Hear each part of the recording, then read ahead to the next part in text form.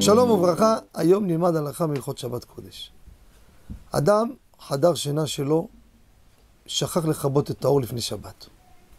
בא ילד, הדליק את האור. הוא רוצה לישון, מצטער, לא מצליח להירדם. אוהב את המיטה שלו. או לא אוהב את המיטה שלו, אין לו מקום אחר, לישון אפילו, זה לא משנה.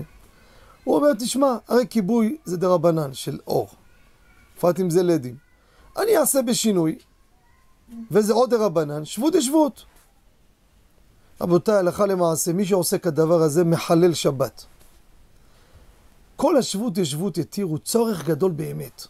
אתם רוצים דוגמה שמרן הר עובדיה, שהוא הקל, היה מקל גדול לדוגמה שהוא הביא? חולה. חולה הזה נדלק לו אור בחדר, חולה חייב לישון רבותיי. איך יבריא את עצמו, איך חזק, מסכן סובל, צריך לישון. האיסורים מתישים אותו. מקרה כזה, אין איפה לישון, חדר אחר, תחבא בשינוי. לצורך חולה. אבל כל שבות דשבות, אתם יודעים כמה פתטים אפשר היום, כל מלאכות שבת כמעט אפשר בטריקים אלו לעשות. נחריב את השבת. כמה זעקנו על כל מיני רעיונות חדשים שקמו.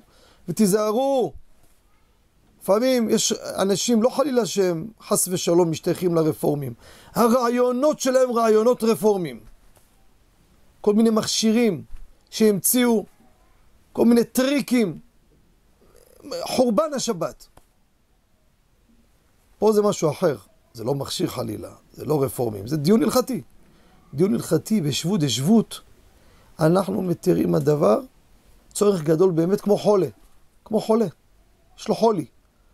אבל אם זה לא הסיפור, גם לא מצליח להירדם, אסור לכבות את האור. יביא גוי, סיפור אחר, ברמז הכל בסדר. הוא יעשה בעצמו, אסור הדבר.